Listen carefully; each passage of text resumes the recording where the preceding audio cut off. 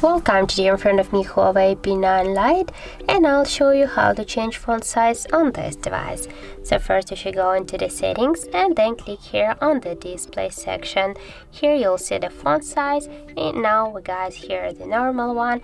As you can see here we can change the size of um, the text of, of the font on our display by just swipe this white dot to the left or to the right side just from the smaller to the bigger as you can see I'll stay with the normal one.